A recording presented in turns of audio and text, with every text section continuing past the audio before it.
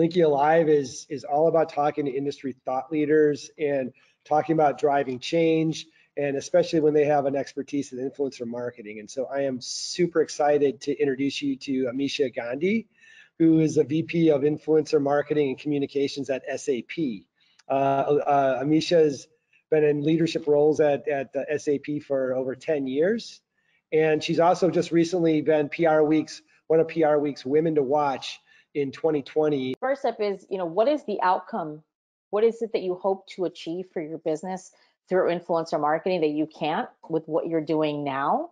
So you have to have the why, why now, and then the what you're going to do, and then the who. The who comes after all of that.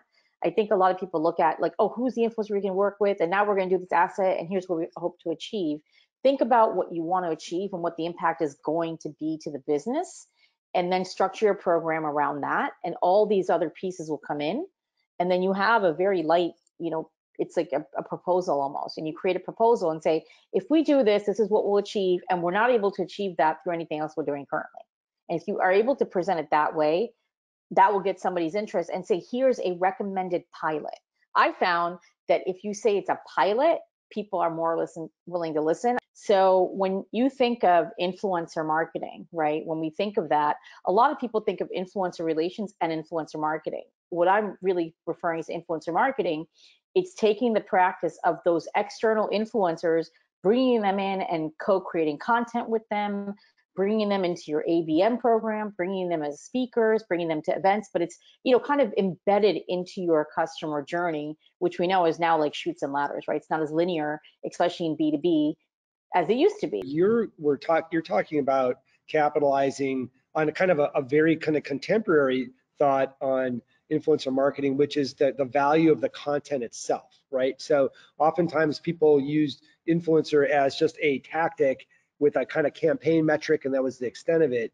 Where if you really think about it thoughtfully, the real business gain is in the the, the general uplift of the content you get and the value of that. So you came on that very naturally, very early, early on as the actual value of these influencer programs. Does that sound about right? Yeah, and so I mean, I think it's because I had done these other programs on the B2C side, right, and seen the value. And so you know, I had gone out to see who else had done it because a lot of times when you're trying to sell in an idea, you want to show success elsewhere. And there wasn't really a lot on the B2B side that showed deeper than some social media at events, right, at that time. So this was kind of, that's why it was called a pilot, right, to see. I was like, well, this could work or it could be a complete disaster and we'll do something else, right? So I think, you know, a lot of people say, oh, look at social media and, and views and things like that. I think, and likes and share I think that's all fine, but I think a lot of executives now view that as vanity metrics, right?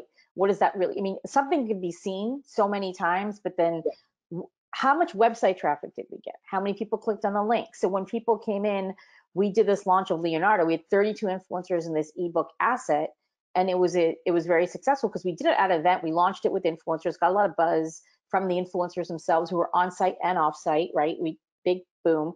And then we kind of had a funnel to kind of keep the interest going with programming to like re-amplify the asset. And we found that, you know, we had people, so then we were able to get who came, okay, this is how many times it was shared.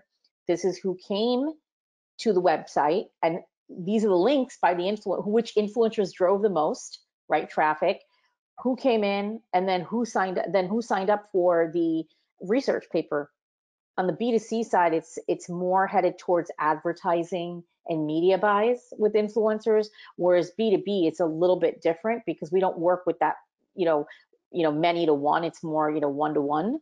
Um, so we definitely look at that and see what content is being made, what platforms are being used, right? I mean, for us in B2B, it's LinkedIn and Twitter. On the B2C side, you have TikTok and now there's like this new platform called Triller. Who knows where that will go? So, you know, we constantly keep an eye on those things to see what we can learn from that.